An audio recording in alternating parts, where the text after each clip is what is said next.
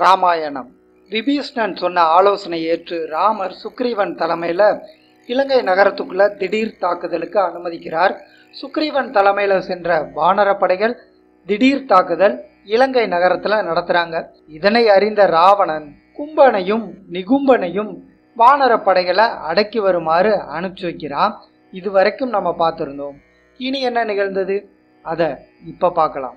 ராமர் வானர படைகளுக்கு எச்சரிக்கை செய்கிறாரு இலங்கை நகரம் எரிந்து கொண்டிருக்கும் இந்த இரவு நேரத்தில் ராட்சசர்களோட பெரும்படை வருது. மாயங்கள் செய்து எந்த திசையிலும் ராட்சசர்கள் தாக்குவாங்க. அனைவரும் நான்கு திசைகளும் பார்த்து யுத்தம் செய்யுங்க அப்படின்னு சொல்கிறாரு யுத்தம் ஆரம்பிக்குது. கும்பனை சுக்ரீவன் அழிக்கிறான் நிகும்பனை அனுமன் அழிக்கிறாரு. கும்பன் நிகும்பனுக்கு பாதுகாப்பாக வந்த ராட்சசர்கள் அனைவரையும் ராமர் அழிக்கிறாரு. யுத்தத்திற்கு சென்ற ராட்சசர்கள் அனைவரும் அழிந்தார்கள் அப்படிங்கிற செய்தியை கேட்ட ராவணன் இந்திரஜித்தை அழைத்து அவங்கிட்ட பேச ஆரம்பிக்கிறான். இதுவரை யுத்தத்திற்கு சென்றவர்கள்ல கும்பகர்ணன் உட்பட யாராலும் வெல்ல முடியாத வீரர்கள் அனைவரும் கொல்லப்பட்டாங்க. நீ மட்டும்தான் இரண்டு முறை வெற்றி பெற்று திரும்பி வந்திருக்க. இது உனது பராக்கிரமத்தை காட்டுது. உனது அஸ்திரத்தினால் தாக்கப்பட்ட ராம லக்ஷ்மணர்கள் எப்படி பிழைச்சாங்க அப்படின்னு தெரியல. இப்பொழுது மீண்டும் யுத்தகலத்துக்கு சென்று வானரங்களை அழித்து ராம லக்ஷ்மணர்களை வென்று வா அப்படின்னு உத்தரவிடுறார் ராவணன். இந்திரஜித் தவம் செய்து பிரம்மாவிடம் பெற்ற அஸ்திரங்களை ராமரின் மீதும் லக்ஷ்மணனின் மீதும் ஏற்கனவே பயன்படுத்திட்டதால இப்பொழுது யுத்தம் செய்வதற்கு மாற்று வழியை யோசிக்க ஆரம்பிக்கிறான். அதன்படி பெரிய யாகங்கள் செய்து தனது வலிமையை அதிகரித்து கொண்ட இந்திரஜித் யுத்த காலத்துக்குள்ள நுழையிறான் ராமர் இந்திரஜித் வருவதை பார்த்து தனது அம்பை அவனை நோக்கி அனுப்புகிறார். ராமரின் அம்பு தன்னை தாக்க வருவதை அறிந்து கொண்ட இந்திரஜித் மாயங்கள் செய்து வானத்தையும் பூமியையும் பனிமூட்டத்தால் மறைத்து தன்னையும் மறைத்து கொண்டான். ராமரின் மீதும் லக்ஷ்மணனின் மீதும் மறைந்திருந்து அம்பு மலை பொழிகிறான் ராம லக்ஷ்மணர்களை அம்புகள் தாக்கி அவர்களின் உடல்ல இருந்து ரத்தம் வர தொடங்குது. இதனால கோபம் கொண்ட லக்ஷ்மணன் ராமரிடம் பேச ஆரம்பிக்கிறான். இந்திரஜித் மறைந்திருந்து தாக்குதல் நடத்தி கொண்டே இருக்கான். எங்க இருக்கான்னு கண்டுபிடிக்க முடியல. நீங்கள் எனக்கு அனுமதி கொடுங்க. என்னிடம் உள்ள பிரம்ம அஸ்திரத்தை வைத்து ராட்சசர்கள் அனைவரையும் மொத்தமா அழிச்சிடுறேன் அப்படின்னு சொல்றான்.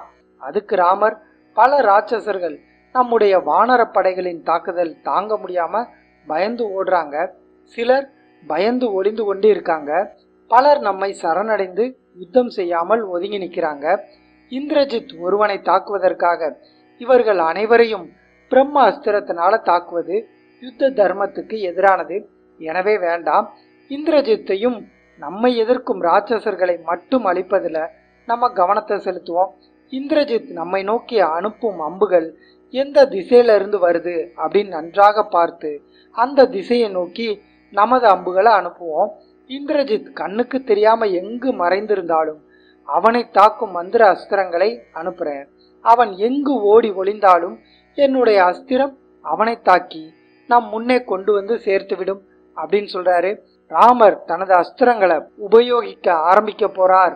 இதில் நம்ம பிழைக்க மாட்டோம் அப்படிங்கிறத உணர்ந்த இந்திரஜித் இலங்கை நகரத்துக்குள்ள ஓடுறான் இதனால் அவனுடைய ராட்சச படைகளும் இலங்கை நகரத்துக்குள்ள ஓட்டம் பிடிக்கிறாங்க. சிறிது நேரம் கழித்து பறக்கும் தனது தேர்ல யுத்த காலத்துக்கு மேலாக வானத்துல பறந்து வந்த இந்திரஜித் மாயத்தினால் சீதையின் உருவத்தை செய்து தனக்கு முன்பாக நிறுத்தி யாரும் தன்னை தாக்காதவாறு பாதுகாப்புடன் நின்று ராம லக்ஷ்மணர்களை தாக்கத் தொடங்குறான். ராமர் சீதையை கண்டதும் செய்வதறியாம திகைத்து நிற்கிறாரு. லக்ஷ்மணனும் வானர வீரர்களும் இந்திரஜித்தை எப்படி தாக்குவது அப்படின்னு புரியாம நிற்கிறாங்க இந்த சூழ்நிலையை தனக்கு சாதகமாக பயன்படுத்தி கொண்ட இந்திரஜித் வானரங்களை கொன்று குவிக்கிறான். இதனை கண்ட வானரப்படைகள் மாயத்தால் உருவாக்கப்பட்டவள் இந்த சீதை அப்படின்னு தெரியாம பெரிய பாறைகளை அவளின் மீது படாதவாறு இந்திரஜித்தின் மீது தூக்கி எறிகிறாங்க. இதனால கோபமடைந்த இந்திரஜித் மாயையால் உருவாக்கப்பட்ட சீதையின் தலைமுடியை பிடித்து அவளை தாக்க தொடங்குறான். இதனை கண்ட அனுமனின் கண்கள்ல இருந்து கண்ணீர் வருது. மாயையால் உருவாக்கப்பட்ட சீதையின் கதறலை பொறுக்க முடியாம இந்திரஜித்திடம் பேச ஆரம்பிக்கிறார். மகா பாவியே பிரம்ம ரிஷியின் பரம்பரையை சேர்ந்தவன் நீ. பெண்ணை துன்புறுத்துறாயே நீயும் ஒரு ஆண்மகன் தானா? சாபத்தின் காரணமாக ராட்சச குலத்தில் பிறந்ததனால் ராட்சசர்களின் குணத்தை பெற்றுவிட்டாய். அதற்கும் ஒரு எல்லை உண்டு. உனது செயல்கள் எல்லை மீறி போது உன் தந்தை செய்த தவறால் இந்த இலங்கை நகரம் இப்பொழுது இந்த துன்பத்தை அனுபவித்துக் கொண்டிருக்கு. அதுபோல நீயும் பெரிய தவற செய்கிற இதன் பலனாக மூன்று உலகங்கள்ல நீ எங்கு சென்று ஒளிந்து கொண்டிருந்தாலும் நீ தப்பிக்க மாட்ட. உனக்கான அழிவை நீயே தேடிக்கொள்கிறாய் அப்படின்னு சொல்றாரு. அதுக்கு இந்திரஜித் பெண்களை துன்புறுத்தக்கூடாது என்று சொல்றியே அது உண்மைதான். ஆனா யுத்த நீதிப்படி எதிரிக்கு பெரும் துன்பத்தை கொடுக்க என்ன காரியம்னாலும் செய்யலாம். அதையே இப்போது செய்கிறேன் சீதையை துன்புறுத்துவதற்கே இப்படி பேசுறியே. இப்பொழுது அவளை கொல்ல போறேன். இதன் பிறகு சுக்ரீவனையும் உன்னையும் விபீஷ்ணனையும் கொள்ளுவேன் நீங்கள் இத்தனை காலம் யுத்தம் செய்து சிரமப்பட்டதெல்லாம் வீணா போகிறது அப்படின்னு தனது கத்தியை எடுத்து மாயையால் உருவாக்கப்பட்ட சீதையை கொல்றா இந்திரஜித். அனுமன் அதிர்ச்சி அடைகிறார். ராமர் சீதை கத்தியால் கொல்லப்படுவதை பார்த்து பிரம்மை பிடித்தது போல நிற்கிறாரு. இந்த சமயத்தை பயன்படுத்தி கொண்ட இந்திரஜித் ஒரு அம்பை ராமரின் மீது எய்தான். இதனை கண்ட லக்ஷ்மணன் ராமரின் முன்பு நின்று அந்த அம்பை தன் உடம்பில் ஏற்றுக்கொண்டு மயங்கி விடுறான் சீதை இறந்துவிட்டால் இன்னொரு பக்கம் லக்ஷ்மணன் தனக்கு வந்த அம்பை ஏற்று மயங்கி கிடக்கிறான். என்ன செய்வது அப்படின்னு தெரியாம ராமர் மயக்க நிலையில சிலை போல் நிற்கிறாரு லக்ஷ்மணனை வீழ்த்திய மகிழ்ச்சியில இந்திரஜித் நீங்கள் இத்தனை நாட்கள் செய்த யுத்தம் அனைத்தும் வீணாய் போயிருச்சு அப்படின்னு ஆனந்த கூத்தாடி இலங்கை நகரத்துக்குள்ள நுழையிறான். சுக்ரீவன் உட்பட வானர தலைவர்கள் அனைவரும் ராமருக்கு என்ன ஆறுதல் சொல்வதுன்னு தெரியாம ராமரை சுற்றி நின்று கொண்டு இருந்தாங்க. இந்திரஜித் அடுத்து என்ன செய்ய போறான் அப்படிங்கிறத அனுமன் சிந்திக்க ஆரம்பிக்கிறார். ராமரையும் லக்ஷ்மணனையும் அழிக்க பெரிய வேள்வியை செய்து அதன் வழியாக வரத்தையும் வலிமையும் பெற இந்திரஜித் திட்டமிட்டிருந்தான். வேள்வியை செய்யும் போது ராம லக்ஷ்மணர்கள் இடையில் வந்து வேள்வியை தடுத்தால் என்ன செய்வது அப்படின்னு சிந்தித்து ஒரு திட்டம் தீட்டான் அதன்படி அவர்களை செயல்பட விடாம தடுக்க மாயையால் சீதை போன்ற உருவத்தை உருவாக்கி அவளை கொன்றால் அனைவரும் துக்கத்துல என்ன செய்வது அப்படின்னு புரியாம குழப்பத்துல இருப்பாங்க. அப்பொழுது வேள்வியை செய்து முடித்திடலாம் அப்படின்னு திட்டம் தீட்டியிருந்தா இந்திரஜித். அந்த திட்டத்தின்படி இப்பொழுது பாதி திட்டத்தை நிறைவேற்றிட்டான். திட்டத்தின் மீதியை செயல்படுத்த ஆரம்பிக்கிறான் இந்திரஜித். மலையின் குகைக்குள்ள பெரிய வேள்வியை ஆரம்பித்து நடக்க ஆரம்பிக்கிறான். அனைத்து செய்தியையும் அறிந்த ராவணன் ராமரை எதிர்க்க தந்திரமாக செயல்பட்டு கொண்டிருக்கும் இந்திரஜித்தை நினைச்சு ரொம்ப பெருமைப்பட்டான். ராமரிடம் வந்த விபீஷ்ணன் கலங்காதீங்க நடந்தவற்றை இப்பொழுதுதான் அறிந்து உடனடியாக இங்கு வந்த ராவணன் சீதைக்கு விதித்த ஒரு வருடம் முடிய இன்னும் நாலு நாள் இருக்கு. அதுவரை சீதைய கொல்ல யாரையும் ராவணன் அனுமதிக்க மாட்டான். நீங்கள் கண்டது அனைத்தும் உண்மையில்லை. சீதை போன்ற ஒரு உருவத்தை இந்திரஜித் மாயத்தால் உருவாக்கி உங்களை குழப்பியிருக்கான். மயக்கத்தில் இருக்கும் லக்ஷ்மணனும் சிறிது நேரத்தில் எழுந்து விடுவான்.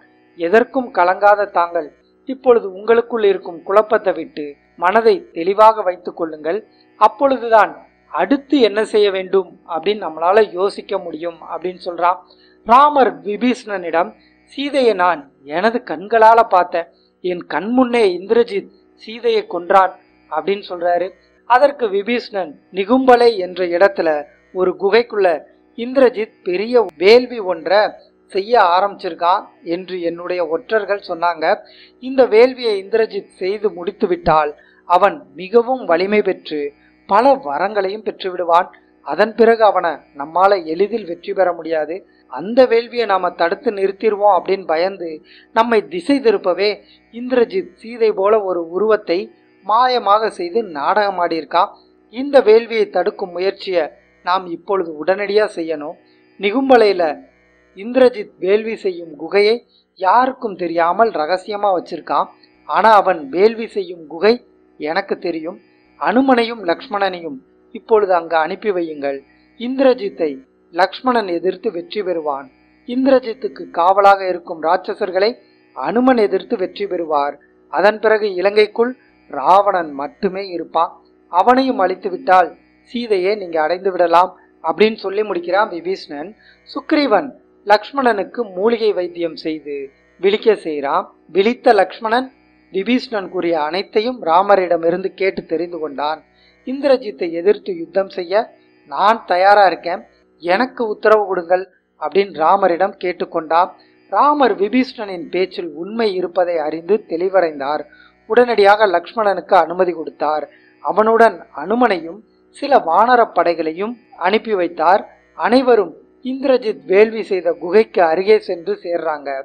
குகைக்கு வெளியே காவல் காத்த ராட்சசர்களுக்கும் வானர வீரர்களுக்கும் யுத்தம் நடக்குது. அனுமனும் லக்ஷ்மணனும் ராட்சச வீரர்களை கொன்று குவிக்கிறாங்க. லக்ஷ்மணனும் அனுமனும் வானர வீரர்களும் ராட்சசர்களை கொன்று குவிப்பதை சில ராட்சசர்கள் இந்திரஜித்திடம் சென்று சொல்றாங்க இதனால் கோபம் கொண்ட இந்திரஜித் வேள்வியை தொடர்ந்து செய்யாம பாதியிலேயே விட்டுட்டு அவர்களோட யுத்தம் செய்வதற்காக குகையை விட்டு வெளியே வர்றான். லக்ஷ்மணனுக்கும் இந்திரஜித்துக்கும் யுத்தம் ஆரம்பிக்குது. இருவரும் ஒருவருக்கொருவர் சரிசமமாக யுத்தம் செய்து தங்கள் வலிமையை காண்பிக்கிறாங்க. இறுதியில லக்ஷ்மணன் இந்திர அஸ்திரத்தை எடுத்தார். ராமர் தர்மத்தை கடைபிடிப்பது உண்மையானால் இந்த அம்பு இந்திரஜித்தை அழிக்கட்டும். அப்படின்னு சொல்லி அம்ப செலுத்துறார். அம்பு இந்திரஜித்தின் கழுத்தை துளைத்து தலையை துண்டாக்குது. அவனது உயிரை பிரித்தது. இதனை கண்ட தேவர்கள் மகிழ்ச்சி அடைந்து மலர் தூவி லக்ஷ்மணனை பாராட்டுறாங்க. இந்திரஜித் கொல்லப்பட்டதும் அங்கிருந்த ராட்சசர்கள் சிதறி ஓட ஆரம்பிக்கிறாங்க. லக்ஷ்மணன் காயத்துடன் யுத்தம் செய்த களைப்பில் அனுமன் மீது சாய்ந்து நின்றான். விபீஷ்ணன் மகிழ்ச்சியில துள்ளி குதித்து லக்ஷ்மணனை பாராட்டுறான். இனி என்ன நடந்தது? இதை அடுத்த பகுதியில் பார்க்கலாம்.